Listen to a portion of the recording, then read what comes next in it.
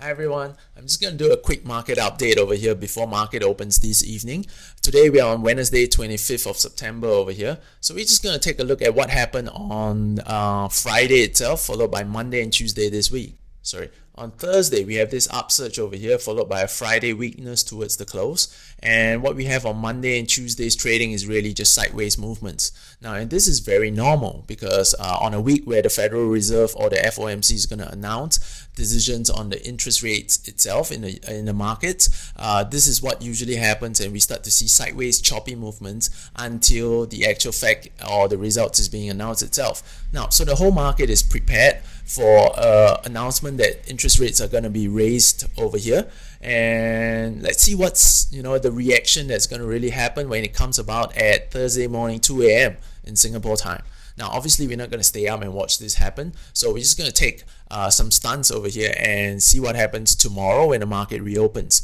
But typically one thing that happens uh, on such FOMC days is if we do see a gap after the announcement itself. That means the market surges up after that.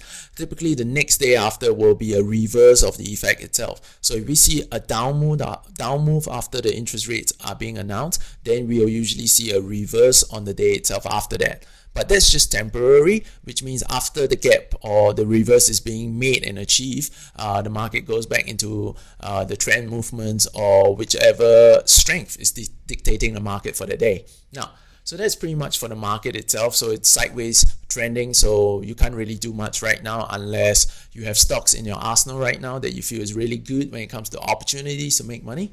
And today, all right, just before I end, I just like to highlight and bring to your attention uh, a stock that really piques my interest over here.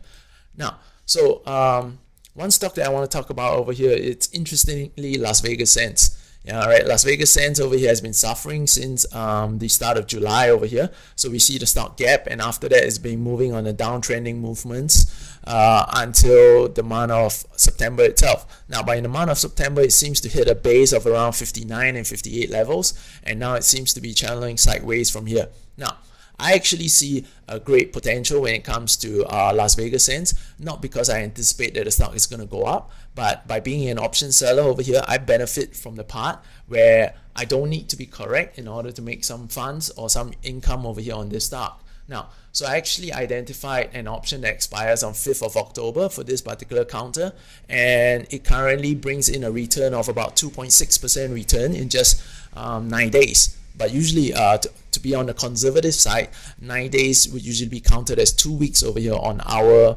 um, community itself when we take on trades. Now, so if you work it out over here, over here, now a 2.6% return, right, uh, on an annualized basis is going to be pretty much 68% um, per annum returns over here on this trade if we do take them.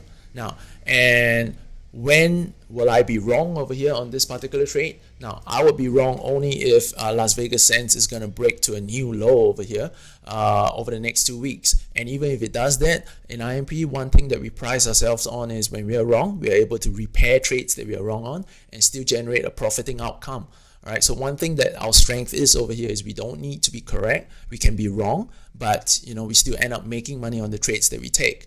So it doesn't matter whether you know we are right or wrong in the markets anymore, right? What matters is really the outcome, which is a profiting situation, not only for myself but for our students in our community as well. Now, so that's really all I have for a market update today. I hope you know it it, it enriches your day over here, and before the market opens, I hope it value adds uh, to your preparation of the markets for trading today. Now, and I'll catch you in my next market update, which will come soon again. Right now, if you like uh, what I'm sharing over here, it provides value for you to know a bit of insight uh, on the markets open or pre-opens over here. Do uh, just subscribe to the YouTube channels over here, and you know you'll be receiving updates and notifications when I do my next uh, video over here. All right, that's all I have. All right, see you soon.